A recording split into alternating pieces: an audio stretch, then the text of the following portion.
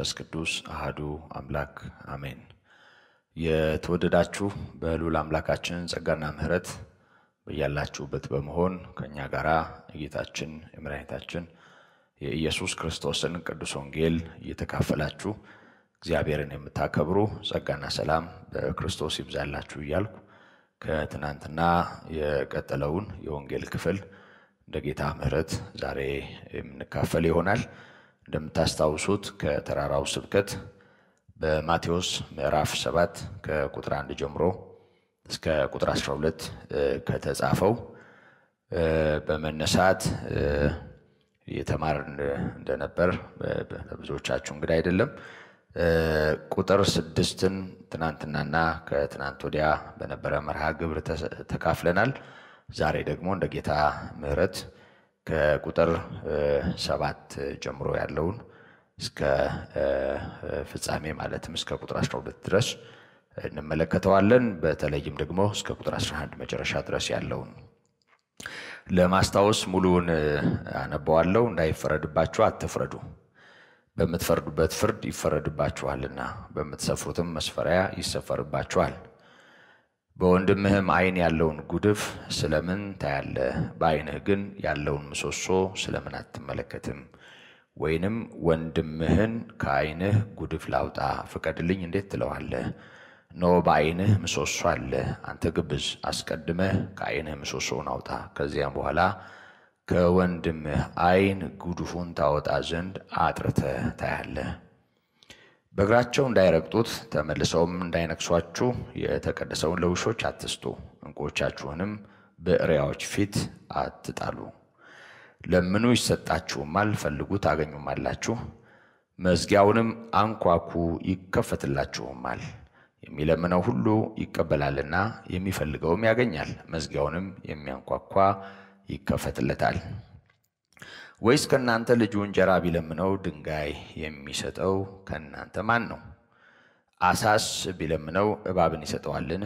እንግዲያስ እናንተ ክፎች ስትሆኑ ለልጆቻችሁ መልካም ስጦታ መስጠትን ካወቃችሁ በሰማያት ያለው አባታችሁ ለሚለምኑት እንዴት አብልጦ መልካም ነገርን ይሰጣቸው። እንግዲህ ሰዎች ሊያደርጉላችሁ የምትወዱትን ሁሉ እናንተ ደግሞ እንዲሁ አድርጉላቸው፣ ሕግም ነቢያትም ይህ ነውና ይላል። ክብር ለአምላካችን ይሁን። የቃሉ ባለቤት የሕይወታችን ጌታ በመንፈስ ቅዱስ አብርሆት ለልባችን ይህንን ቃል ዛሬም በሕያውነት እንዲያካፍለን እንዲሰጠንና እኛም አርፈን ከእግዚአብሔር ጋር በቃሉ በኩል ህብረት እንድናደርግ ጸጋው በነገር ሁሉ ያግዘን። እንደምታስታውሱት በዚህ ምዕራፍ በምዕራፍ ሰባት ከቁጥር አንድ ጀምሮ እስከ ቁጥር 12 ባለው ክፍል ጌታችን መድኃኒታችን ኢየሱስ ክርስቶስ ያስተማረውን እያየን በተለይ ሶስተኛው ነጥብ ላይ ነበርን ትናንትና። የመጀመሪያው እንዳይፈረድባችሁ በማንም ላይ አትፍረዱ የሚለው ሲሆን ቀጣዩ ወይም ሁለተኛው አስቀድመህ በዓይንህ ያለውን ምሰሶ አውጣ፣ በሌላው ዓይን ያለውን ጉድፍ ለማየት የሚለው ነው። እንዲሁም ደግሞ እንዳይረግጡት ተመልሰውም እንዳይነክሷችሁ የተቀደሰውን ለውሾች እንዲሁም ደግሞ ዕንቁዎቻችሁን ለእሪያዎች አትስጡ ወይም አትጣሉ የሚለውን መነሻ በማድረግ በእነዚህ ሶስት መልእክቶች በተከታታይ ተምረናል። እንግዲህ ዛሬ የምናየው በዚህ አንቀጽ እስከ ቁጥር 12 ባለው ክፍል ማለቴ ነው አራተኛ ነጥብ የሆነውን ቁጥር ሰባትን አነባለሁ። ለምኑ ይሰጣችሁማል፣ ፈልጉ ታገኙማላችሁ፣ መዝጊያውንም አንኳኩ ይከፈትላችሁማል።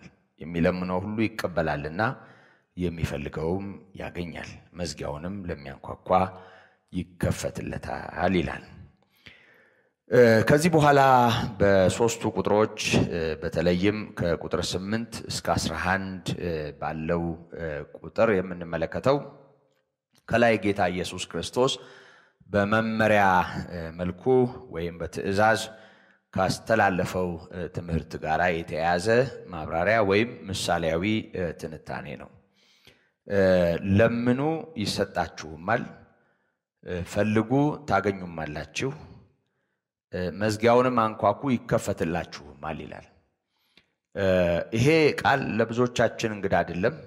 ከዚህ በፊትም እግዚአብሔርን መለመን ወይም ደግሞ በልጅነት መብትና ስልጣን መጠየቅ የተገባ እንደሆነ በተለይ በምዕራፍ ስድስት ከዕለት እንጀራ ጋር ተያይዞ ጌታ የዕለት እንጀራችንን ስጠን ለዛሬ ብለን እንድንለምን ወይም እንድንጠይቅ ባስተማረው መነሻነት መካፈላችንንና ይሄንን ማድረግ ስንፍናም ችግርም ነውርም እንዳይደለና ስለ ዕለት እንጀራም ሆነ ስለ ኑሮ በእግዚአብሔር ፊት መጸለይ ተገቢ መሆኑን አንስተን ነበር።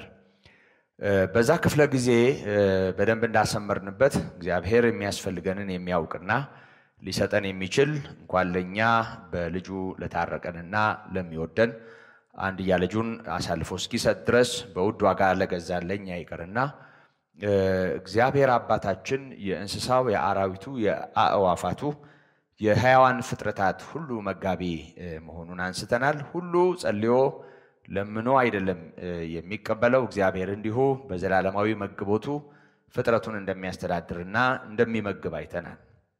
የሆነ ሆኖ በአባትና በልጅ መካከል ሊኖር በሚገባው ጤነኛ ግንኙነት መጠን ለእግዚአብሔር መግቦት፣ ለእግዚአብሔር ስልጣን፣ ለእግዚአብሔር እረኝነት፣ ለእግዚአብሔር አባትነት እውቅና በመስጠት እኛ በደመ ነፍስ እንደ እንስሳ የምንኖር ስላይደለን እግዚአብሔርን በሕያውነት የምናመልክ ስለሆን የልጅነት መብታችንን ተጠቅመን እግዚአብሔርን መጠየቃችን ወይም መለመናችን በእግዚአብሔር ፊት ያለንን ስፍራና እንዲሁም ደግሞ እግዚአብሔር በእኛ ላይ ያለውን ስልጣን የሚያመለክት ለዚህ እውነት እውቅና የመስጠትና በጥላው የማደር አንዱ መገለጫ መሆኑን አንስተን ነበር። በእርግጥ ለምኑ ይሰጣችሁማል ከሚለው ጋር ተያይዞ ራሱ ጌታችን መድኃኒታችን ኢየሱስ ክርስቶስ እንደ ምሳሌ ያቀረበው ነገር ማለትም ከእናንተ ልጁ እንጀራ ቢለምነው ድንጋይ የሚሰጠው ከእናንተ የትኛው ሰው ነው? ወይስ አሳ ቢለምነው እባብ ይሰጠዋልን? የሚለውን ማብራሪያና እናንተ ክፎች ስትሆኑ ለልጆቻችሁ በጎውን መስጠትና ማድረግ የምታውቁ ከሆነ እግዚአብሔር እንዴት አብልጦ የተሻለውን መልካሙን አይሰጣችሁም ከሚል ማብራሪያ ጋር የቀረበ ስለሆነ ይሄንን ባነበብን እንዲሁም ደግሞ በሉቃስ 11 ከ5 እስከ 13 ድረስ በተመሳሳይ ዘገባ ይሄው ትምህርት ተቀምጧል። እነዚህን የወንጌል ክፍሎች ባነበብን ጊዜ ሁሉ ስለ እንጀራ፣ ስለሚበላ፣ ስለሚጠጣ ነገር በእግዚአብሔር ፊት መጸለይ፣ መትጋት፣ መለመን እንዳለብን ነው አይምሯችን ቶሎ የሚያስበው። በእርግጥ አሁንም እንደተናገርኩት ከዚህ በፊትም ምዕራፍ ስድስት አባታችን ሆይ የሚለውን ጸሎት በተማርን ጊዜ አጽንኦት ሰጥቼም እንዳስታወስኩ ደግሞም ስለ መከናወን እግዚአብሔርን ተስፋ በማድረግ ስለ መጸለይ ደጋግሜም ለማስታወስ እንደሞከርኩት በዚህ ጉዳይ መጸለይ፣ በዚህ ጉዳይ መለመን በራሱ ስህተት አይደለም፣ በራሱ ችግር አይደለም።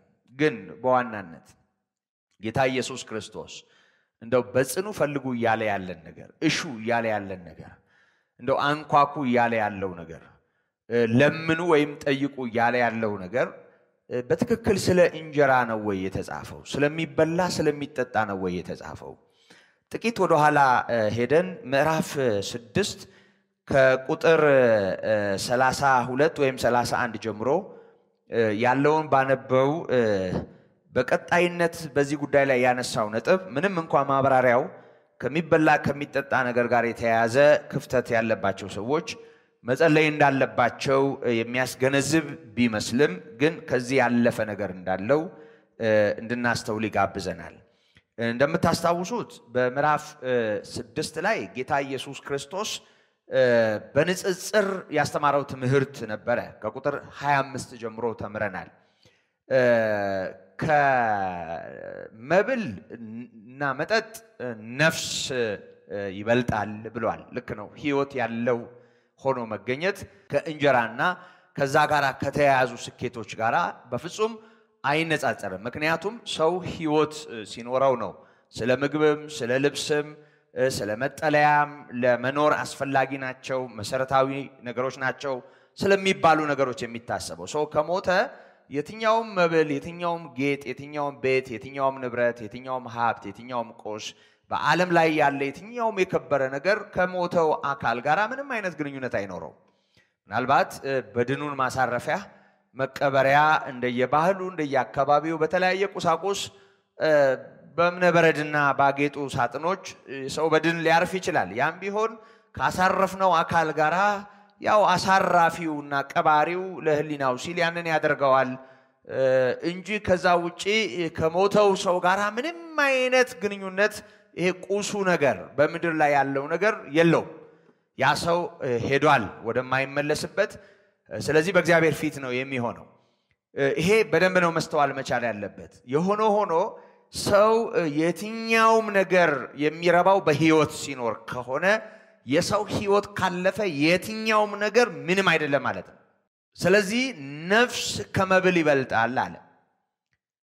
ደግሞ ከልብስ ወይም ከጨርቅስ ሰውነት አይበልጥም አላቸው።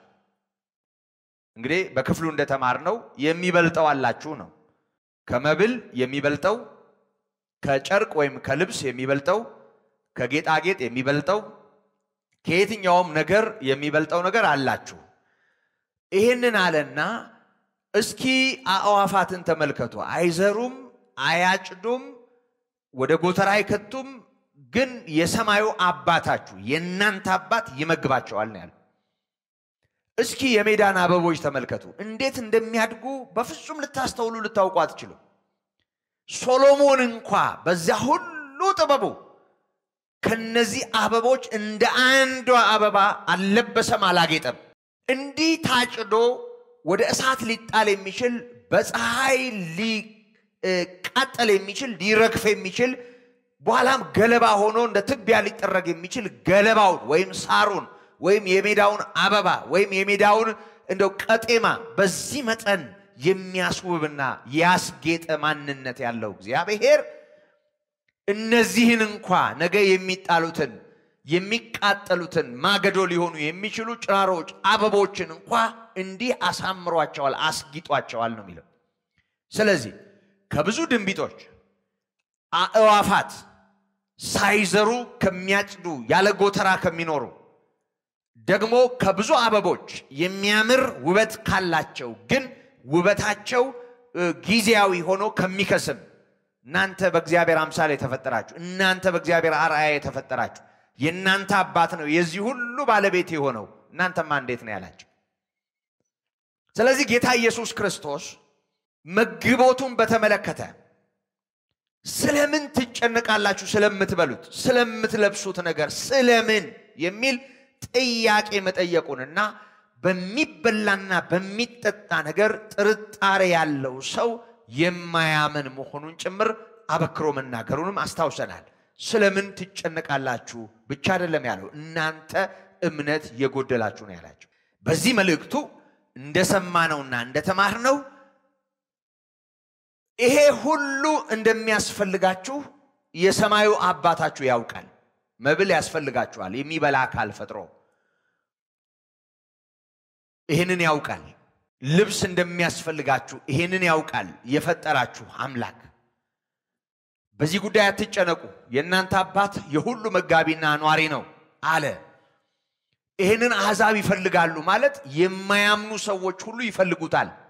ስለዚህ የማያምን ሰው ዳግመኛ ያልተወለደ ሰው ከጨለማ ወደ አስደናቂው ብርሃን ያልተሻገረ ከሞት ያላመለጠ በስጋ ልደት የቀደመው አዳም ልጅ ሆኖ በምድር ላይ የሚኖር ግን ሕይወት ስላለው መብላት፣ መጠጣት፣ መልበስ፣ መጠለያ፣ ማግባት፣ ስኬት፣ በረከት፣ ምድራዊ ተድላ እንደ ማንኛውም ሰው ለሚያምን ለማያምን ሁሉ የሚያስፈልግ ነው። ልክ እንስሳው በመጠኑ መብላት መጠጣት እንደሚሻ እንዲሁ ተፈጥሯዊ እንደሆነ እንዲሁ በትምህርትና በልዩ ስልጠና ሳይሆን በተፈጥሮ ሕግ በደመነፍስ እንኳ የሚኖሩ እንስሳ የሚፈልጉትን ያንን ነው ወይ ፈልጉ እያለ ያለው።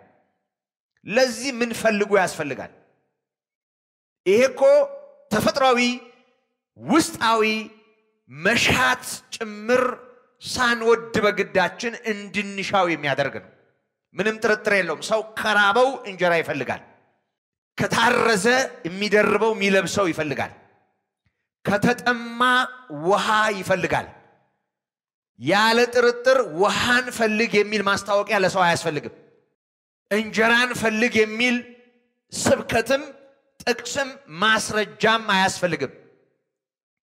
መጠለያ ያስፈልግሃል። መጠለያን ጠይቅ፣ መጠለያን ፈልግ፣ እስኪ ስለ መጠለያ ጸልይ የሚል ዲስኩርም ለሰው አያስፈልገው። ምክንያቱም እነዚህ ሁሉ ነገሮች ሰው ተፈጥሯዊ በሆነ ማገናዘብ በሚችል አእምሮ የሚሻቸው እንኳን ሰው፣ እንስሳ፣ አራዊት፣ አእዋፋት ጭምር የሚፈልጓቸው ነገሮች ናቸው። አሁን መብላታቸውን ማግኘታቸውን መጠለላቸውን ለጊዜው አስቀምጠን ሩጫቸውን ፍላጋቸውን ስናነሳ አእዋፋት ተባረው እንቁላሎቻቸውን የሚያሳርፉበት ጫጩቶቻቸውን የሚያኖሩበት ደግሞም የቀፈቀፏቸውን ጫጩቶች የሚመግቡበት መራወጥ ውስጣቸው እንዳለ እናያለን። ተፈጥሯዊ ነው። አሁን የተፈለፈሉት ጫጩቶች እንኳ አምጥተው በአፋቸው የሚያጎርሷቸውን ወላጆቻቸውን ይሻሉ። ተፈጥሯዊ ነው። በጣም ትንሽ ልጅ እንደተወለደ ጡት ይፈልጋል። ተፈጥሯዊ ነው። መጥባት አለብህ የሚል ስብከት ተሰብኮ ወይም ደግሞ ተነግሮት አይደለም። ተፈጥሯዊ ነው። በደመ ነፍስ የሚንቀሳቀሱ እንስሶች፣ አራዊት ሁሉ ይፈልገዋል። ይሄንን ሁሉ ነው የሚፈልገው። ወደ ሰው ደረጃ ስናመጣው ደግሞ የሚያምን የማያምን ሁሉ ይፈልገዋል። የሚፈልገው ስለሚያስፈልገውና እንዲፈልገው የሚያደርግ አስገዳጅ የተፈጥሮ ጥሪ ወይም ጉዳይ በውስጡ ስለሚኖር ስለዚህ ይህን በተመለከተ ጌታ ኢየሱስ ክርስቶስ አንኳኩ፣ ፈልጉ፣ እሹ የሚል ይመስላችኋል? ይህን በተመለከተማ ይሄ ሁሉ እንደሚያስፈልጋችሁ የሰማዩ አባታችሁ ያውቃል እኮ ነው ያለው። ይሄንን አሕዛብም ይፈልጉታል ነው ያለው። እናንተ እምነት የጎደላችሁ ስለዚህ ለምን ትጨንቃላችሁ? አበቦች ይኖሩ የለም ወይ?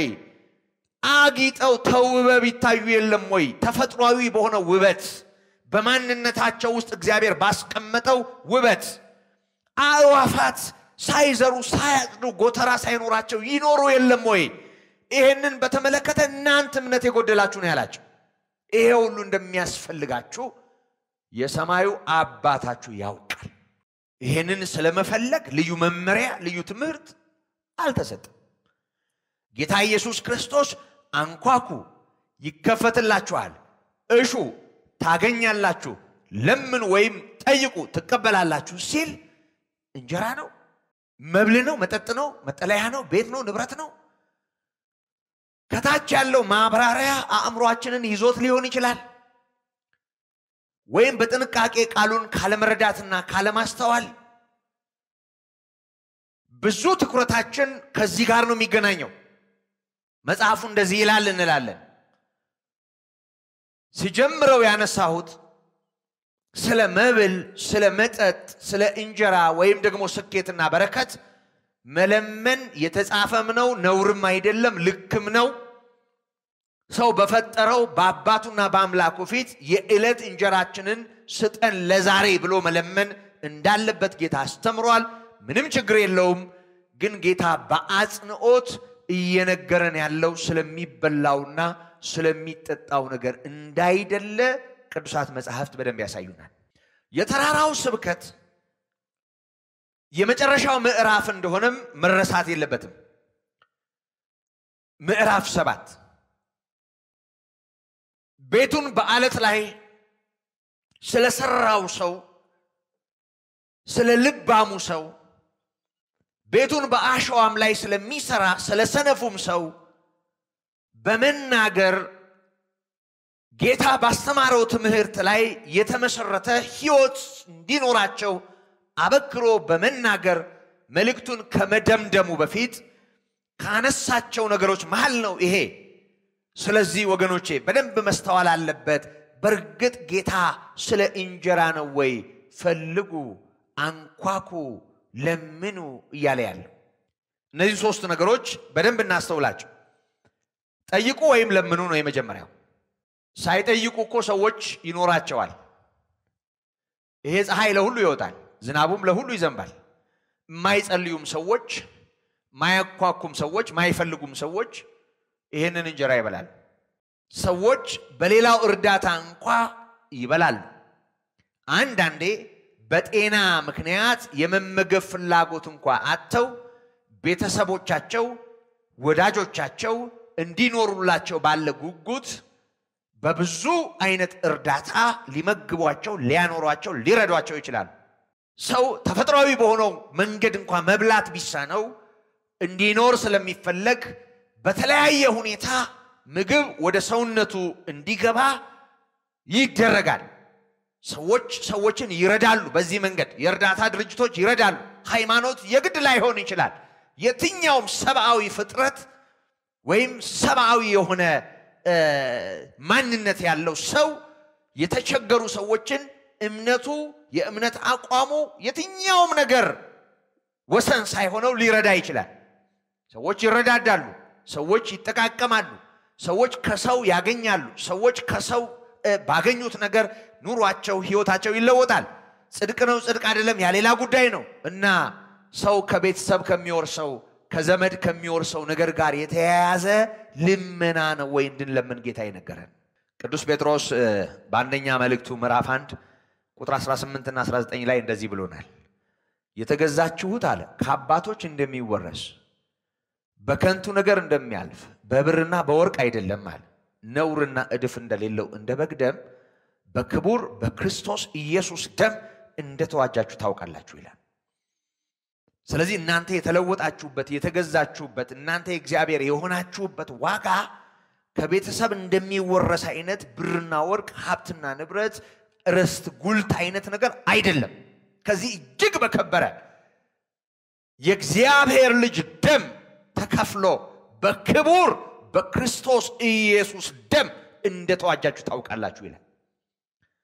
እግዚአብሔር አንድ ልጁን በመስጠት ከጨለማው ስልጣን ያዳነን ወደ ፍቅሩ ልጅ መንግስት ያፈለሰን በሕይወት የምንኖር የእግዚአብሔር ምሕረት የእግዚአብሔር ያደረገን ከእንስሳ ከአራዊት ከማያምነውም ዓለም በተለየ ማንነት በእግዚአብሔር ፊት እንድንኖር የተጠራንን በደንብ ማስተዋል መቻል ያለብን ከምዕራፍ አምስት ጀምሮ ከእግዚአብሔር መንግስት ጋር ስለተያያዘ ብፅዕና እንዴት ስንማር እንደነበረ ታስታውሳላችሁ። ከምዕራፍ አምስት ጀምሮ እንኳ ባሉ የጌታ ትምህርቶች እንደ መንግስት ልጆች እንደ እግዚአብሔር ልጆች ለማያልፈው ርስት እንደ ምሕረቱ መጠን ዳግመኛ እንደተወለድን ሰዎች ለማይጠፋው ክብር እንደተለየን ሰዎች ስለመኖር ለዛ የሚመጥን ከመንግስቱ ጋር ከእግዚአብሔር ጽድቅ ጋር ከሰማያዊው ክብር ጋር ለተያያዘው ሞገስ የሚሆን አቅም፣ ጉልበት፣ ኃይል የእግዚአብሔር ጸጋ በሕይወታችን እንዲሰራ ከእንጀራ ላለፈው ሁሉ ሲያልፍ ለማያልፈው ቋሚና ዘላለማዊው ለሆነው ነገር የሚሆን ማንነት እንዲኖረን እግዚአብሔር ልመናችንን እንደሚሰማ እንደሚረዳን እንደሚያሻግረን ነው የሚያሳየን። በደንብ እናስተውል። እንደውም እነዚህን ሶስት ነገሮች ለምኑ ወይም ጠይቁ፣ እሹ ወይም ፈልጉ፣ አንኳኩ የሚለውን በአይምሯችን ላይ እናኑረውና ከዚህ ጋር በተነጻጻሪ የተጻፈውን የወንጌል ክፍል ለአንብብ። ይሄንን በውል ስለሚያስረዳን በሉቃስ ምዕራፍ 11 ላይ እንዲህ ተጽፏል። ከቁጥር አምስት ጀምሮ አነበዋለሁ። እንዲህ አላቸው ይላል ጌታ ኢየሱስ። ከእናንተ ማናቸውም ወዳጅ ያለው በእኩለ ሌሊት ወደ እርሱ ሄዶ ወዳጄ ሆይ ሶስት እንጀራ አበድረኝ፣ አንድ ወዳጄ ከመንገድ ወደ እኔ መጥቶ የማቀርብለት የለኝምን የለኝምና ይላልን? አለ። ሊል ይችላል። እንጀራ ሰው ከሰው ሊበደር ይችላል ከሌለው። በጥያቄ ምልክት ስላቀረበው ነው። ይላልን? ይላል። ሊል ይችላል። አዎ። ያም ከውስጥ መልሶ አታድክመኝ፣ አሁን ደጁ ተቆልፏል፣ ልጆቼ ከኔ ጋር በአልጋ ላይ አሉ፣ ተነስቼ ልሰጥህ አልችልም ይላልን? አለ ሊለው ይችላል። ግን እውነታውና ሚዛን የሚደፋው እላችኋለሁ ወዳጅ ስለሆነ ጎረቤት ስለሆነ ወዳጅ ብሎ ነው የሚጀምረው። ወዳጅነታቸውን ማዕከል አድርጎ በመካከላቸው ያለውን የፍቅር ግንኙነት ጤናማ ግንኙነት ማዕከል አድርጎ ተነስቶ ለመስጠት አቅም ቢያጣ እንደው ደስ ብሎት እንኳ ሮጥ ብሎ ለመስጠት አቅም ቢያጣ ስለ ንዝነዛው ተነስቶ የሚፈልገውን ሁሉ ይሰጠዋል። እባክህ እያለ ከለመነው እንደ ወዳጅነት ባይስበው እንኳ ጉርብትና ባይስበው እንኳ ጤናማ የሆነው ግንኙነት ባይስበው እንኳ ከጤናማው ግንኙነቱ በላይ ከልጆቹ ጋር አልጋ ላይ መውጣቱ፣ በእንቅልፍ ልቡ መሆኑ፣ መተኛቱ ይዞት እንዴት በዚህ ሰዓት ያንኳኳብኛል ብሎ ቅር እንኳ ብሎት ቢሆን ያ ሰው ደጋግሞ የሚያንኳኳ ከሆነ ስለ ንዝነዛው ደጋግሞ ስለ ማንኳኳቱ ያንኳኳ እንቅልፍም ከሚነሳው ልጆቹንም ከሚረብሽ ብድግ ብሎ ወርዶ ይሰጠዋል። እኔም እላችኋለሁ ለምኑ ይሰጣችሁማል አለ። መለመን መጠየቅ፣ ይሄ ይደረግልን እግዚአብሔር ሆይ ብሎ በእግዚአብሔር ፊት ለእግዚአብሔር መግቦት ለእግዚአብሔር ችሮታ እውቅና ሰጥቶ መጠየቅ፣ መፈለግ ያንን ጉዳይ በጽኑ ናፍቆት ይሄ ለምኑ የሚለው በመሰረቱ ይሄ እንደ ዕለት እንጀራ እንደ መለመን ይሄ ዘወትር የሆነውን ጸሎት እንደ መጸለይ ልንቆጥረው እንችላለን። የዘወትር ጸሎት አሁን ሁልጊዜ በእግዚአብሔር ፊት ስንሆን በየዕለቱ የምንጸለየው ጸሎት አለ እና መጠየቅ መለመን እንደ ዘወትር ጸሎት ሁልጊዜ እንደምናደርገው ጸሎት ሊሆን ይችላል። መሻት ወይም መፈለግ ግን ጽኑ የሆነ ናፍቆትን ያሳያል። ከውስጥ ያለ ጉጉትን ያሳያል። ደግሞ ማንኳኳት ከውስጥ ካለው ጉጉት በመነጨ ናፍቆት የሚወሰድ እርምጃን ያመለክታል። መጠየቅ ወይም መለመን፣ መሻት ውስጣዊ ፍላጎት፣ ማንኳኳት ተግባራዊ እንቅስቃሴ። የሚለምንም ይቀበላል፣ ይሰጠዋል። የሚፈልግም ያገኛል፣ ለሚያንኳኳም ይከፈትለታል ይላል። ይሄን ካለ በኋላ የሚለምን ሁሉ ይቀበላልና የሚፈልግም ያገኛል፣ መዝጊያውንም የሚያንኳኳ ይከፈትለታል። አባት ከሆናችሁ አለ ወላጆች ከሆናችሁ ሌላ ምሳሌ ምዕራፍ ሰባት ማቴዎስ ላይ ካለው ጋራ ቀጥታ የሚመሳሰል አንድ አይነት የሆነ ምሳሌ ከዚህ ከጎረቤታሞቹ ቀጥሎ ማለት ነው። አባት ከሆናችሁ አለ ወላጆች ከሆናችሁ ልጆች ካሏችሁ እናንተ ይገባችኋል እያለ ነው። ከማንኛችሁም ልጁ እንጀራ ቢለምነው እርሱ ድንጋይ ይሰጠዋልን? እንጀራ ለሚለምነው ድንጋይ ይሆናል? አባት ከሆንክ ወላጅ ከሆንክ እንዴት ይሆናል? ለወለድከው እንዴት ድንጋይ ትሰጣለህ? እንዲበላ፣ እንዲቆረጥም፣ እንዲውጥ እንጀራ አስፈልጎት ለሚንሰፈሰፍ ረሃብተኛ እንዴት ይሆናል? አሳ ደግሞ ቢለምነው በአሳ ፈንታ እባብ ይሰጠዋልን? ይደረጋል? አሳ ለሚለምን እባብ የሚሰጥ አለ? ያውም ለልጅ? ጥያቄ ነው። በእርግጠኝነት የለም ነው መልሱ። ወይስ እንቁላል ቢለምነው ጊንጥ ይሰጠዋልን? እንኪያስ ወይም እንግዲያስ እናንተ ክፎች ስጡን። ሰው ከውድቀቱ የተነሳ ከመጀመሪያው አዳም ውድቀት የተነሳ ስለከፋ ስለተበላሸ ብዙ ነገሩ ልክ ስላልሆነ እናንተ ክፎች ስትሆኑ ሲል እናየዋለን። ልክ ነው። ሰው የፈለገ መልካም ቢሆን እንደ እግዚአብሔር መልካም ሊሆን አይችልም። በመልካምነት ውስጥ ክፋት አለ። በፍቅር ውስጥ ጥላቻም፣ ቁጣም፣ ኃይለኝነትም፣ ስስትም፣ አለመረዳትም፣ አለመገንዘብም፣ ነገሮችን በጤናማ ሁኔታ አለመመለስም አለ። ሰው ስለወደቀ በአንዱ አዳም አለመታዘዝ ወደ ሰው ማንነት ድካምና ውድቀት ስለገባ ሰው እንኳ ምንም አይነት ክፉ ቢሆን ምናልባት ታዝባችሁ ከሆነ አላውቅም፣ አንዳንድ ጊዜ አይምሯቸውን የሳቱ የታመሙ የአይምሮ ህመምተኞች ይሁን ያበዱ እናቶች ልጃቸውን አንጠልጥለው ሲያብዱ አይተን እናውቃለን። የሚያሳዝኑ ህፃናት ልጆቻቸውን ታቅፈው ሜዳ ለሜዳ አንጠልጥለው ሲሄዱ የምናያቸው የአይምሮ ህመምተኞች ወይም ደግሞ እብዶች እንደው የአካባቢ ሰው የሚያያቸው ሰው ጓጉቶ ያንን ልጅ እንደው ከእንግልት ለማትረፍ እንኳን ነጥቆ ሊያሳድግ እንኳን ጥረት ቢያደርግ እንደ እብድ ከዛ በላይ እያበዱ ከዛ በላይ እየጮሁ ከዛ በላይ እየሆኑ ልጆቻቸውን የገቡበት ገብተው ሲናጠቁ የምናያቸው እብዶች አሉ።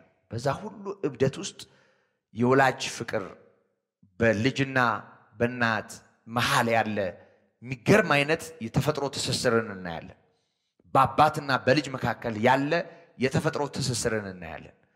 ሰው ወድቆ እንኳ ከፍቶ እንኳ በጣም ብዙ ችግር እያለበት እንኳ በዛ መካከል ልጁን በተመለከተ የራሱን በተመለከተ የሆነ ነገር አለ። ይህ ይታወቃል። እናንተ እንኳ ክፎች ስትሆኑ ለልጆቻችሁ መልካም ስጦታ መስጠትን ካወቃችሁ አለ በሰማይ ያለው አባት ለሚለምኑት እንዴት አብልጦ አብልጦ ምን ያደርጋል ነው የሚለው መንፈስ ቅዱስን ይሰጣቸው። አሁን ለምኑ፣ ፈልጉ፣ አንኳኩ የሚለው እንጀራ ከመብላት ዳቦ ከማግኘት ምድራዊ ሀብትና ንብረት ከማትረፍ ኃላፊ ለሆነው ነገር መለኮታዊና ሰማያዊ እርዳታ ከማግኘት ያልፋል። እንደውም ስለ እንጀራ የዕለት እንጀራችንን ስጠን ለዛሬ ለአሁን የየዕለት ልክ በምድረ በዳ የእስራኤል ልጆች በየዕለቱ ለየዕለቱ ይቀርብላቸው እንደነበረ በእግዚአብሔር ታምነው ሳይጠረጥሩት የዕለት የሆነውን መና ይሰበስቡ እንደነበረ ሊያጠራቅሙ ሲሞክሩ ትእዛዙን ተላልፈው እንደበሰበሰ የዕለት እንጀራን ለምኑ ነው ሲል የምናየው። የዕለት የዕለቱን እንዲንኖር እንዲኖሩ ከዛ አልፈው እንዳይጨነቁ በእምነት እንዲኖሩ እግዚአብሔር ሁሉን እንደሚመግብ እንደሚያኖር እንዲያስተውሉ ነው የነገራቸው። ስለዚህ አሁን አንኳኩ፣ እሹ፣ ለምኑ የሚለው በፍጹም ከእንጀራ ከዳቦ ጋር የተገናኘ አይደለም፣ የተገናኘ አይደለም። ጌታ ይሄን ሁሉ ማብራሪያ የሰጠው መንፈሳዊ ከሆነ ነገር ጋር ተያይዞ ቅድም እንዳልኩት ከምዕራፍ አምስት ጀምሮ በተራራው ስብከት እንኳ ብፁ ብፁ ብፁ ብፁ እያለ ያነሳቸው ብፅዕናዎች የእግዚአብሔር ለሆን ነው ለእኛ እንዲሆኑ። ክርስትና ከባድ ነው።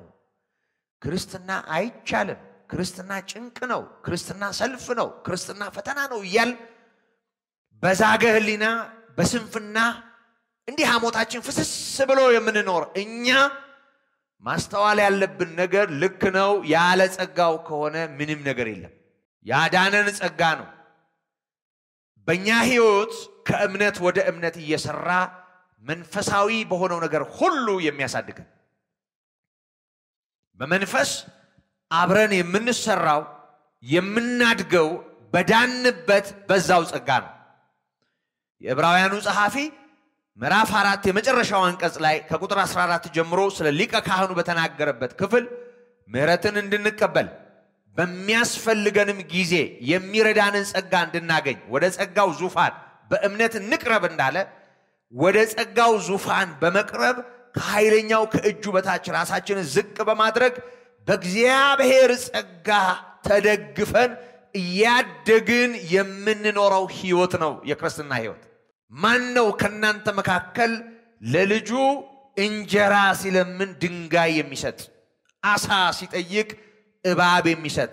እንቁላል ሲለምን ጊንጥ የሚሰጥ? እናንተ ክፎች እንኳ ስትሆኑ ለልጆቻችሁ በጎውን ማድረግ ካወቃችሁ የሰማዩ አባታችሁማ እንዴት ዕለት ዕለት ለምትለምኑት ለእናንተ ለምርጦቹ ለምትሹ ለእናንተ ለምርጦቹ ለምታንኳኩ ለእናንተ እንዴት አይሰጣችሁ? ምን የሚበልጥ ነገር? ምንድን ነው የሚበልጠው? ከእንጀራ የሚበልጥ ከዳቦ የሚበልጥ ከልብስ የሚበልጥ ከመጠለያ የሚበልጥ ከቤት ንብረት የሚበልጥ። የሚበልጠው ምን? መንፈስ ቅዱስን እንዴት አይሰጣችሁ? የሕያው እግዚአብሔር መንፈስ የእውነት መንፈስ። ጌታችን ኢየሱስ ክርስቶስን አሜን ባልንበት ቅጽበት የርስታችን መያዣ ሆኖ ለማያልፈው ርስት የለየን ያተመን የሕያው እግዚአብሔር መንፈስ ደግሞ በዚህ ክፉ ዓለም ውስጥ ወደ እውነት ሁሉ እየመራ ክፉን እየገደበ በሕይወታችን እድል እንዳይኖረው ኢየሱስ ክርስቶስን በእኛ እያከበረ ልክ ያልሆነ ነገር ወደ ሕይወታችን ሲመጣ ደግሞ እየወቀሰና እያስተማረ ጌታ ያስተማረንን ደግሞ እያስታወሰና ከመንፈሳዊ እንቅልፍና ድንዛዜ እያወጣ ጌታ ኢየሱስ ክርስቶስ ባስተማረው ትምህርት ውስጥ ሌላውን እንኳ ለጊዜው አስቀምጠን ከምዕራፍ አምስት የመጀመሪያው ቁጥር አንስቶ እስከ ምዕራፍ ሰባት የመጨረሻው ቁጥር ድረስ በተነገረው የተራራው ስብከት አንቀጸ ብፁዓን በሚባለው መልእክት ላይ እንኳ ጌታ ኢየሱስ ክርስቶስ ባስተማረው ትምህርት መጠን ጠንክረን በርትተን አስተውለን ወገባችን የታጠቀ መብራታችን የበራ ሆኖ እንደ ጽዮን መንገደኞች በእምነት እንድንጓዝ የሚያስችለንን ጸጋ የሚሰጠን ራሱ እግዚአብሔር ነው። በመንፈሴ እንጂ በኃይልና በብርታት አይደለም ያለ ጌታ አሁንም በመንፈሱ በኩል ነው ሕይወታችንን በአሸናፊነት የሚያራምደው። ስለዚህ ይሰጣችኋል ሲል እንቁላል ማለት አይደለም። ይሰጣችኋል ሲል አሳ ማለት አይደለም። ይሰጣችኋል ሲል እንጀራም ማለት አይደለም። አዎ ይሄንንም ያደርጋል። ጌታ ይመግባል፣ ጌታ ያኖራል፣ ጌታ በብዙ መልካም ነገር ያሳልፈናል። ግን በመንፈሳዊና በሰማያዊ በረከት የባረከን የጌታችን የኢየሱስ ክርስቶስ አባትና አምላክ የሆነው እግዚአብሔር ከኔና ከእናንተ ጋር ያለው ኪዳን የዘላለም ነው።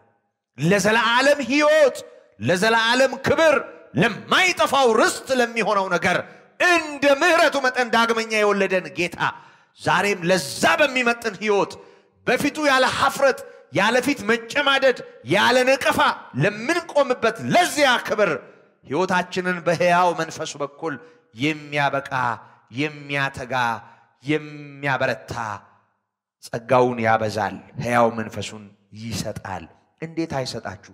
የሚበልጠውን ካለ በኋላ የሚበልጠውን አዎ፣ ምንድን ነው የሚበልጠው? መንፈሱን እንዴት አይሰጣችሁ ነው የሚለው። ስለዚህ አንኳኩ፣ ይከፈትላችኋል፣ ፈልጉ፣ ታገኛላችሁ፣ ለምኑ፣ ይሰጣችኋል። በመለመን መቀበል፣ በጽኑ መሻት ማግኘት። እንደው ዝም ብሎ ቸል ብሎ በዋል ፈሰስ ሆኖ እንደው እንደፈለግን እዛና እዚህ እግራችን እየረገጠ የስጋችንን ፈቃድ ደግሞ መንፈሳዊውም ነገር በተመለከተ እዛና እዚህ እያልን እንዲሁ እየዋለን ሳይሆን በጽኑ ጸሎት በትጋት ወደ ፈተና እንዳትገቡ ትጉና ጸልዩ። መንፈስ ተዘጋጅታለች፣ ስጋ ግን ደካማ ነው እንዳለ ጌታ በነቃ መንፈስ ከእግዚአብሔር የሆነውን ነገር እንድናገኝ ተወቅሳችሁ አታውቁ። የሰማችሁት ቃልና የምትኖሩት ኑሮ እርስ በርስ እየተምታታ ትንሿ ነገር እንኳ አልሆን እያለች ከስድብ አንጠራ፣ ከሐሜት አንጸዳ፣ ከቁጣ አንተርፍ፣ ከዝሙትና ከመሻቱ አንድን በጣም ትንንሽ በሚባሉ የዕለት ከዕለት ሕይወታችን እንኳ ውስጣችን ውስጥ ስስት፣ ሌብነት፣ ተንኮል፣ አመፃ፣ ግፍ፣ ዘረኝነት፣ የተለያየ ነገር እየተንቀለቀለ ክርስቲያን ነን የምንል ሰዎች ተቸግረን አናውቅ ይሆን? በእውነት አንኳኩ ይከፈትላችኋል። እሹ ታገኛላችሁ፣ ለምኑ ይሰጣችኋል ነው የሚለው። ይህን መች እንለምናለን? ስላልተገራው ልባችን መች እንለምናለን? ለቃሉ ስላልተሸነፈው ጉልበታችንና ሕይወታችን መች እንለምናለን? ይቅር ማለት ለሚያቅተው ልባችን፣ ምሕረት ለማያደርገው መንፈሳችን መች እንጸለያለን? ስለ ቅድስና ስለ መለወጥ እንደው ስናጠፋ ስንበድል ይቅር በለን ብለን ኡኡ እንላለን እንጂ በእግዚአብሔር ፊት እግዚአብሔርን የሚያስከብር ሕይወት ስለ መኖር መች እንተጋለን? ስለ ማስታረቅ፣ በስሙ ነቀፌታን ስለ መሸከም፣ የሚጠሉንን ስለ መውደድ፣ የሚያሳድዱንን ስለ መመረቅ፣ በስሙ ወደ ሕይወታችን የሚመጣውን ነገር በተመለከተ እንደ መጀመሪያዎቹ ቅዱሳን እንደ ሐዋርያት እንደ ሰማዕታቱ ወገባችን የታጠቀ ሆኖ ምላሻችን ልክ እንደ እግዚአብሔር ቃል ሆኖ ጌታ ኢየሱስ ክርስቶስ በእኛ ሕይወት ለመክበሩ እሱ ሲመጣ በፊቱ ለሚገለጥ ሕይወታችን የሚመጥን ሕይወት ስለመኖር መች እንጸለያለን? አለ የጸሎታችን አጀንዳ ውስጥ ይሄ አለ። ስለ መለወጥ እንጸልይ ይሆን? ስለ መቀደስ እንጸልይ ይሆን? በመንፈስ ቅዱስ ኃይል እውነትን በመረዳት እግዚአብሔርን በእውነት ስለ ማምለክ እንጸልይ ይሆን? ጌታ እሱን ነው እያለን ያለ ጉዳዩ ዳቦ፣ እንጀራ፣ አሳ፣ እንቁላል ስለ መስጠት አይደለም።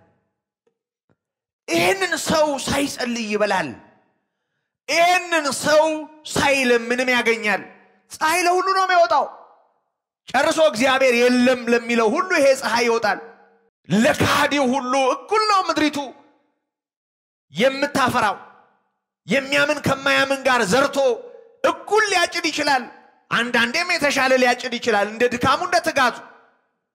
ምንም ከመንፈሳዊ ነገር ጋር ሳናገናኝ ይሄንን አሕዛብ ይፈልጉታል እንዳለ ጌታ ኢየሱስ ክርስቶስ ሁሉ በሚፈልገው ጉዳይ ሁላችንም አንድ አይነት ልንሆን እንችላለን። ስለዚህ እንዴ ጌታ አንኳኩ እያለ ያለው እንዲያው በር ዘግታችሁ ብታንኳኩ ብትለምኑ በቃ ስራ የስራ እድል ብርግድድ ይላል። የወንጌላችን ተጣሙ ተንጋዶ እንደዚህ ነው የሆነው። ጸሎቱ ጠቅላላ መርገም ሰበራ፣ መርገም ቆረጣ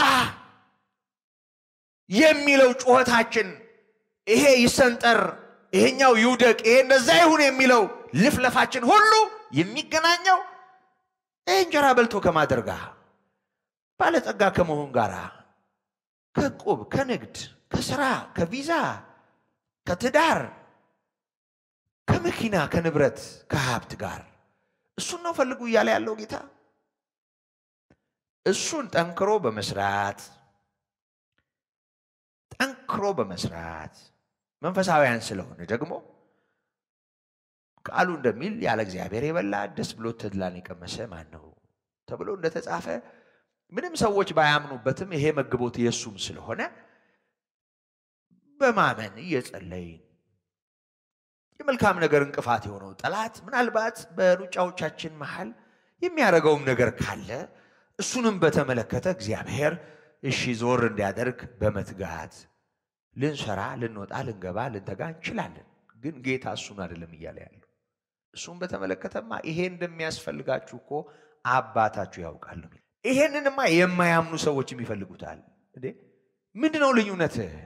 የዳንከው ከጨለማ ስልጣን ያመለጥከው ማራናታ እያልክ ልትጸልይ የተጠራኸው የኢየሱስን መምጣት እንድትናፍቅ ከጌታ የተነገረ የሕያው እግዚአብሔር መንፈስ ከቤተ ክርስቲያን ጋር ሆኖ ና የሚለውን ሙሽራ እንድትጠብቅ የተማርከው አንተ ከማያምነው እንዲሁ የእግዚአብሔርን እርዳታ በነገር ሁሉ ከሚሻው ደግሞም የእግዚአብሔርንም እርዳታ ባለመሻትም ዝም ብሎም ቢሆን የጥረቱን፣ የተንኮሉን፣ የክፋቱን፣ የሌብነቱን ጭምር እየሰበሰበ ከሚኖረው በምንድን የምትለየው? በመኪና፣ በልብስ፣ በወርቅና ብር? አረ ይሄ ቃቃ ነው። እሱ አንለይም። ልዩነታችን እሱ አይደለም። በእሱ ብንከብርም ክብራችን እሱ አይደለም።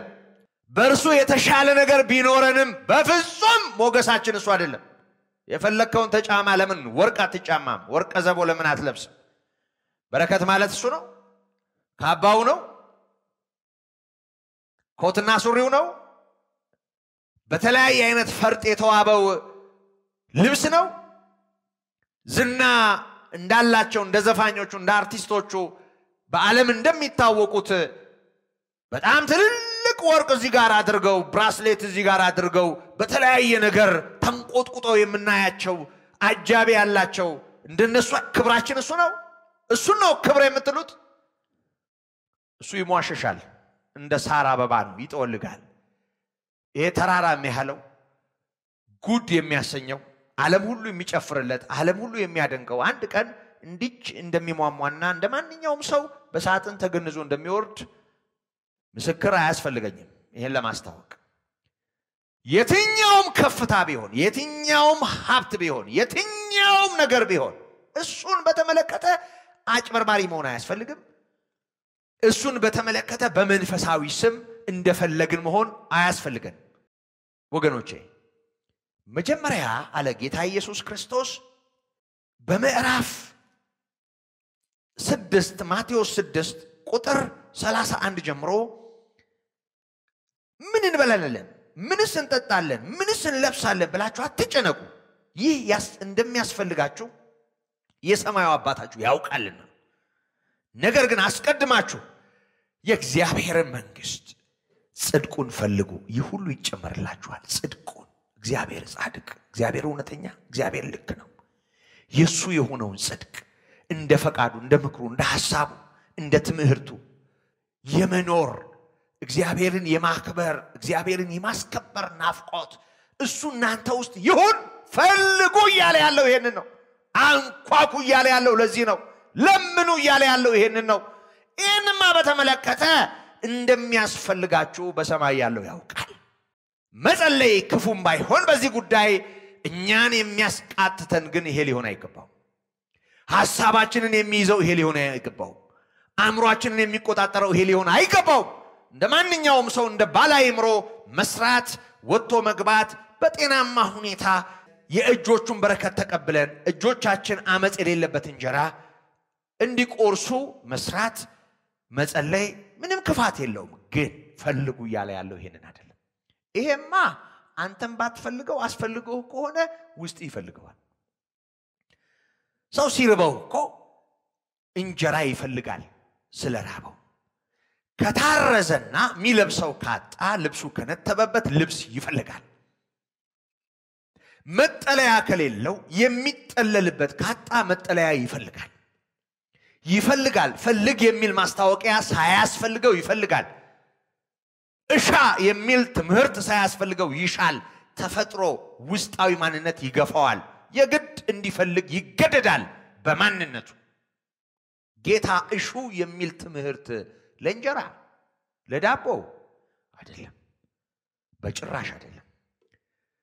ለሰው በሚገባ ሁኔታ እናንተ ክፎች ስትሆኑ ለልጆቻችሁ ብሎ አባት ለልጁ ያለውን ጤናማ ጎረቤት ለወዳጁ ያለውን ሌላው ቀርቶ እንኳ ጤነኛ ያልሆነ ዳኛ ፍርድ ገምድል የሆነ ዳኛ ጉቦኛ የሆነ ዳኛ እንኳ ስለ ንዝነዛዋ ልፍረድላት ብሎ ከተደጋጋሚ ልመናዋ የተነሳ እዛ ሉቃስ 18 የመጀመሪያው አንቀጽ ላይ እንደተጻፈው መበለቲቱን ልገላገላት ለእሷ አስቦ ሳይሆን ስለ ጆሮ እስከ መቼ እየመጣች ትጨቀጭቀኛለች ብሎ ፈረደላት። አመፀኛው ዳኛ ያደረገውን ታውቃላችሁ አይደል?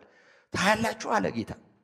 እሱ እንኳ ሊፈርድላት ባይፈልግም ስለ ንዝነዛዋ ፈረደላት ካለ በኋላ እንዴ ዕለት ዕለት ለምትለምኑት ለምርጦቹ ለእናንተ እንዴት አይፈርድላችሁ? ፈጥኖ ይፈርድላችኋል፣ ይሰማችኋል፣ ይመልሳል ነው ያለው። ስለዚህ ወገኖቼ ይሄ ትጋት የሚጠይቅ ወገብን መታጠቅ የሚጠይቅ ልዩ ትኩረት የሚጠይቅ ማንኳኳት የሚጠይቅ የእግዚአብሔርን ጸጋ የሚጠይቅ ሰው በራሱ የማይኖረው ከእግዚአብሔር ሊቀበለው የሚችል በክርስቶስ በኩል እግዚአብሔር ላመንነው ለዳነው ሊያደርግ የሚችለው ጤናማ ነገር ቢኖር ጽድቅና መንግስቱን ለምንፈልግ ለእኛ የሚያደርገው መግቦት ነው። አብልጦ ያደርግላቸዋል። ምንድን ነው የሚያበልጠው? መንፈሱን ይሰጣቸዋል። ስለዚህ የእግዚአብሔር መንፈስ፣ የእግዚአብሔር ጸጋ፣ የእግዚአብሔር ኃይል በዚህ ክፉ ዓለም ውስጥ በአሸናፊነት እንዲያራምደን መጸለይ አለብን። መለመን ወይም መጠየቅ መሻት አለብን። ውስጣችን የመለወጥ የመቀደስ እንደ እግዚአብሔር ፈቃድ የመኖር ጥማት ሊኖረው ይገባል። ብዙ ሰው አእምሮው ይያዝና መንፈሳዊና ሰማያዊ ነገር በተመለከተ ምንም ላይ መስለው ይችላል። ምንም ላይ መስለው ሃይማኖት ዝም ብሎ በቃ የዕለት ከዕለት ወይም የሳምንት ወይም የበዓል የሆነ ሁኔታ ማህበራዊ መስተጋብር ሆኖ እየመጣ እየሄደ ዝም ብሎ ሊመላለስ ይችላል። ስለዚህ የክርስቶስ የሆነ ሰዎች ክርስቲያን የሆነ ሰዎች እንለምን፣ እንሻ፣ እናንኳኳ። በምን ጉዳይ? በጽድቅ በመንግስቱ ጉዳይ። በምን ጉዳይ? ለዚህ በሚሆን ክብር ህይወታችንን ሊቀድስ ሊያጽናናንና ሊያጸናን በሚችል በሕያው እግዚአብሔር መንፈስ ጉዳይ መንፈሱን እንዴት አይሰጣቸው ካለ በኋላ የተሻለውን አብልጦ ይሰጣቸዋል፣ መንፈሱን ይሰጣቸዋል ነው የሚለው። እግዚአብሔር ጸጋ ይብዛላችሁ። ቀጣዩን በቀጣዩ መርሃ ግብር እናያለን። አባታችን እግዚአብሔር ሆይ እናመሰግንሃለን። እንደ ቃልህ አስተውለን መጸለይ ባለብን ጉዳይ እንድንተጋ ሕያው መንፈስህን እንማልዳለን። ከክፉ ሁሉ የምታድንና ሕይወትን የምታቀና አንተነህ ክብርና ምስጋና ለስምህ ይሁን። ጌታ ሆይ እናመሰግንሃለን። በጌታችን በኢየሱስ ክርስቶስ ስም አሜን። እግዚአብሔር ይመስገን። የክብር አባት አምላካችን አባታችን ስለሰጠን ጊዜ ምስጋና ይድረሰው። ደግሞ በዜማ እናከብረዋለን። ናምናብ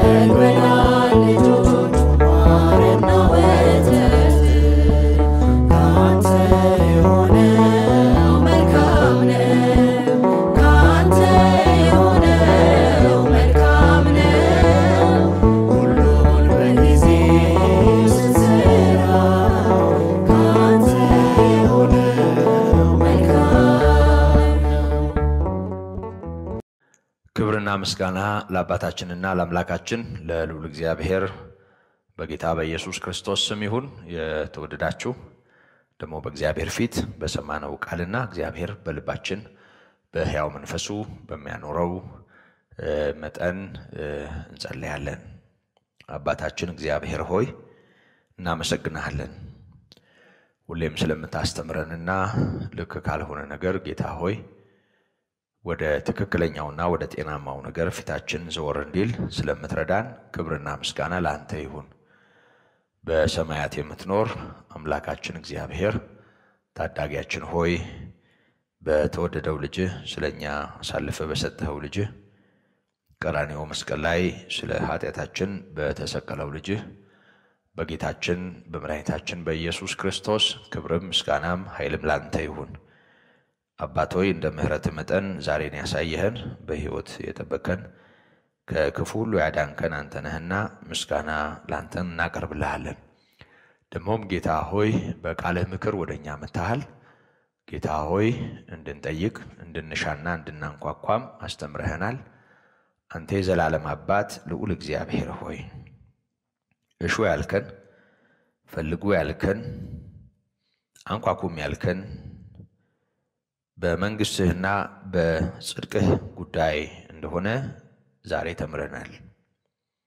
ይህንን የሚሰሙ ሁሉ ጌታ ሆይ የጸሎት ርዕሳቸው እንዲለወጥ ሰማያዊና መንፈሳዊ ከሆነው ስጦታ ጋር የተያያዘ ጽኑ ጸሎትና ትጋት ጌታ ሆይ እንዲሆንላቸው አሁን ከሰማነው ሕያው ቃል የሚመነጭ ጌታ ሆይ በማስተዋል የሚሆን ጸሎት በመላው ምድሪቱ እንዲሆን በደምህ የተዋጀው በስምህ የተጠራው ወገንና ሕዝብ ሁሉ ጌታ ሆይ በዚህ ጉዳይ በፊትህ አስተውሎ እንዲተጋ ምሕረትህ እንዲበዛ እንለምንሃለን። ሐሳባችን ምድራዊ፣ ምኞታችን ምድራዊ የሆነ ጌታ ሆይ በብዙ ድካምና ስንፍና ለማንም በሚያስፈልገው እንስሳ እንኳ በሚሻው ነገር አእምሯችን ተይዞ ጌታችን ሆይ ካየህልን በታች ከመኖር እንውጣ። ባየህልን መጠን አንተ ለእኛ ባልከው መጠን የምንኖርበት ጸጋ የምንኖርበት ምሕረት ይብዛልን። በሰማያት የምትኖረው ቅዱስና እውነተኛ የሆንከው አባታችን እግዚአብሔር ሆይ ይህንን እንለምንሃለን። አንተ የዘላለም ሕይወት ነህ። አንተ የዘላለም አባት ነህ። ጌታ ሆይ ከክፉ ሁሉ የምታድን በምሕረት የምትደግፍ ሕይወት የሆንክ አንተ ነህ። ክብርም ምስጋናም ኃይልም ለአንተ ይሁን። እግዚአብሔር ሆይ እናመሰግንሃለን። አቤቱ እናመሰግንሃለን። በምክርህ ግሩም የሆንክ እናመሰግንሃለን። አስቀድማችሁ ጽድቅና መንግሥቱን እሹ ሌላው ይጨመርላችኋል ያልከን ስለ ጽድቅ ስለ መንግሥትህ በሰማይ ስለሚሆነው ክብርህ በምድርም ላይ ጌታ ሆይ አንተን በሚያስከብር ሕይወት በጽድቅ ስለመኖር ስለ መቀደስና አንተ በክብር ስትመጣ ለሚሆነው ነገር ስለ መለየት ስለ መከርከን ክብርና ምስጋና ለአንተ ይሁን። ጌታ ሆይ እንቁላሉን ማንም ሊሰጥ ይችላል። ዳቦውን ማንም ሊቸር ይችላል። እግዚአብሔር አባት ሆይ የሚበላና የሚጠጣው አሳው እግዚአብሔር ሆይ ለሁሉ ከምታደርገው መግቦት የተነሳ ማንም ያለ እምነትና ያለ ጸሎት እንኳ ጌታ ሆይ ሊቋደሰው ይችላል። አንተ ልጅህን አሳልፈህ ለሰጠህለትና አንተ ስትገለጥ ለሚገለጠው ሕይወት ግን እንድንተጋ እሱን እንድናስብ መከርከን። ክብርና ምስጋና ለአንተ ይሁን ጌታ ሆይ እናመሰግንሃለን። አሁንም ይህን ለሚሰማ ሁሉ ይህንን ማስተዋል ይሁን። የጸሎት ርዕስ አጀንዳችን ሰማያዊ የሆነውን የሚናፍቅ የሚያስናፍቅም ይሁን። እግዚአብሔር ሆይ መንፈሳዊ ለሆነው ኢየሱስ ክርስቶስን አሳልፈ በመስጠትህ በእኛ ሕይወት ማየት ለምትሻው ነገር እንደ ምሕረትህ መጠን ሕይወታችን ፈጽሞ የተሰጠ እንዲሆን ጸሎታችንም እሱን ማዕከል እንዲያደርግ ጸጋህ ይርዳን። የተወደዳችሁ አንኳኩ ይከፈትላችኋል፣ ፈልጉም ታገኛላችሁ የሚለውን ሕያው መልእክትና ትምህርት ዛሬ በተማርነው በሰማነው እውነት መጠን የተረዳችሁ ሰዎች በእውነት እግዚአብሔርን አመስግኑ። ደግሞ ርዕሳችሁ እንዲለወጥ በእግዚአብሔር ፊት በማስተዋል መኖር እንድትችሉ አብራችሁኝ ጸልዩ። እንጸልይ።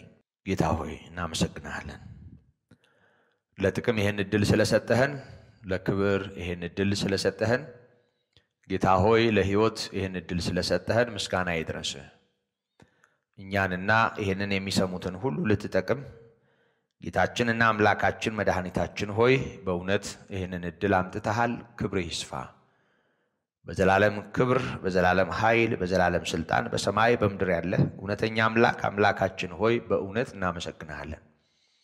ደግሞ እንደ በጎነትህ ይህንን በማስተዋል የምንኖርበት ምሕረት ይብዛልን። ጌታ ሆይ ቤተ ክርስቲያንን አስብ። በስምህ የተጠራውን ወገን ተመልከት።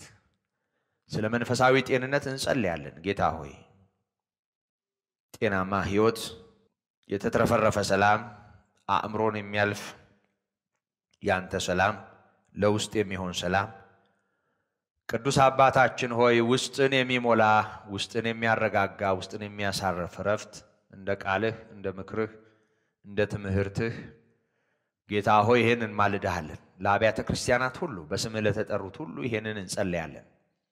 ጌታ ሆይ ይህን እንድታድል ብቻም ሳይሆን የጸሎት ርዕሳችን ይህም እንዲሆን ቋንቋችን በእውነት እንዲቃና እንዲስተካከል ሐዋርያት እንደተጉበት በፊትህ ጌታ ሆይ በጸሎት እንደተጉበት ያንን ማዕከል ያደረገ የጸሎት ርዕስ በአብያተ ክርስቲያናት ሁሉ እንዲሆን በስምህ በተጠሩ ጉባኤያት ሁሉ እንዲሆን ይሄንን አድርግ። ጌታ ሆይ ይሄን ሞገስና ይሄን ማስተዋል በስምህ ለተጠራው ወገን ሁሉ አንተ አድል። ደግሞ እንጸለያለን። አባታችን ሆይ እንጸለያለን። አንተ ለማይጸልዩ እንደኛ አይነት እስትንፋስና ሕያውነት ለሌላቸው ረቂቃንና ግዙፋን ፍጥረቶች ሁሉ መጋቢ ነህ። ይሄ ሁሉ እንደሚያስፈልጋችሁ በሰማይ የሚኖረው አባታችሁ ያውቃል ብሎ ልጅህ ነግሮናል። ቅዱስ የሆንክ ሕያው የሆንክ አባታችን ሆይ በተወደደው በልጅ በኢየሱስ ክርስቶስ እንለምንሃለን። ጌታ ሆይ ያንተ ለሆን ነው፣ በደምህ ለተዋጀ ነው፣ በስምህ ለተጠራ ነው ለማይጠፋው ርስት ዳግመኛ ለተወለድ ነው በሚመጥን የጸሎት አጀንዳና ርዕስ ቤትህ እንዲሞላ በስሜ የተጠራው ወገን እንዲዋጅ ርዕሳችን እሱ እንዲሆን ጌታ ሆይ ሌላው በሚፈልገው በሚሻው ነገር ተጠምደን ለሁሉ በሚያምነው በማያምነው በሚያስፈልገው ነገር አይምሯችን ተይዞ በአመፅም በጽድቅም ለሚበላ እንጀራ ሕሊናችን ታውሮ እንዳንኖር እርዳን። እናመሰግንሃለን ስለሰማህን። እንዲህ ባለማስተዋል ደግሞ ጌታ ሆይ መንፈሳዊና ሰማያዊውን ባለመጸለይ ባለመለመን ስላሳለፍነው ጊዜ ሁሉ ምሕረት ይብዛልን። ቅዱስ አባታችን እግዚአብሔር ሆይ እናመሰግንሃለን። ይህንን ጸሎት አብራችሁኝ የምትሳተፉ ለእናንተ አጋጣሚ በሚመስል አጋጣሚ ይህን የወንጌል እውነት እንድታደምጡ እግዚአብሔር እድል የሰጣችሁ አዳዲስ የሆናችሁ ሰዎች እግዚአብሔር ጽድቅ ይግዛችሁ፣ የእግዚአብሔር መንፈስ ያሳርፋችሁ። ከኔ ጋራ ይህን አጭር ጸሎት እንድትጸልዩ ይህንን ሕይወት በእምነት እንድትቀላቀሉ በጌታ ፍቅር እጋብዛችኋለሁ። እንግዳ የሆናችሁ ለወንጌል አዳዲስ የሆናችሁ ሰዎች ይህን ጸሎት ከኔ ጋር ጸልዩ። እግዚአብሔር ሆይ ያንተን ጽድቅ ጌታ ኢየሱስ ክርስቶስን እንድረዳው ስለረዳኸኝ አመሰግንሃለሁ። ጌታ ሆይ ለእንስሳም ለአራዊትም ለየትኞቹም ፍጥረታት ከሚሆነው የሚያልፈው የልቤ ናፍቆት እንዲሆን መክረኸኛል። ስለዚህ መንግሥትህን እሻለሁ። ኃጢአቴን ይቅር በለኝ፣ በደሌንም ይቅር በለኝ። በልጅ ደም እጠበኝ፣ ነውሬን ሁሉ ተውልኝ። ዳግመኛ በመወለድ በጽድቅና በእውነት በፊትህ እንድኖር ራሴን ለአንተ አሳልፌ እሰጣለሁ። ክብርና ምስጋና ለአንተ ይሁን። እግዚአብሔር ይመስገን። ክብርና ምስጋና ለአምላካችን ይሁን። የሰላም አምላክ በነገር ሁሉ ያሳርፋችሁ፣ በነገር ሁሉ የልባችሁ ረፍት ይሁን። እግዚአብሔር አይምሮን ሁሉ በሚያልፍ የክርስቶስ ሰላም ውስጣችሁን ይግዛ። የጠላት ምክር፣ የዲያብሎስ ሥራ በስም ይፍረስ። ጌታ ሆይ ይህን ስለምታደርግ እናመሰግንሃለን። እንደ ቸርነትህ ቀሪውን ሰዓት ተረከብ፣ ሰላምህንም አብዛለን። ለሚታወኩ ረፍት ለሌላቸው የሚሆን ምሕረትና በጎነት፣ ለታመሙ የሚሆን ፈውስ፣ ለሚራቡ የሚሆን መግቦት እንደ ምሕረት መጠን እንለምንሃለን። እኛ በአንተ ስለምናምንና ተስፋ ስለምናደርግህ ስኬትና በረከት ሁሉ ካንተ ይሁንልን። ሳንለምን ስላደረግክልን ነገር ሁሉ ደግሞ እናመሰግንሃለን። ገና ደካሞች ሳለን፣ ኃጢአተኞች ሳለን፣ ጠላቶች ሳለን ክርስቶስ ስለ እኛ ስለሞተ በእውነት እግዚአብሔር ሆይ እናመሰግንሃለን። ስለ እኛ ራሱን አሳልፎ በሰጠው በልጅ በኢየሱስ ከፍ ከፍ እናደርግሃለን። ቅዱስ አባታችን እግዚአብሔር ሆይ ቀሪውን ዘመንና ጊዜያችንንም አንተ ውረስ። እንደሚገባ በመኖር እንድናከብርህ ጸጋ ይርዳን። ክብርና ምስጋና በኢየሱስ ላንተ ይሁን ለዘላለሙ አሜን። እግዚአብሔር ይመስገን። እግዚአብሔር ስለሰጠን እድል ደግሞ የዚህን ቀጣይ ክፍል በሚቀጥለው ዕለት እናያለን። ጸጋና ምሕረት እንዲሁም ፍቅር ይብዛላችሁ። ወስብሐት ለእግዚአብሔር።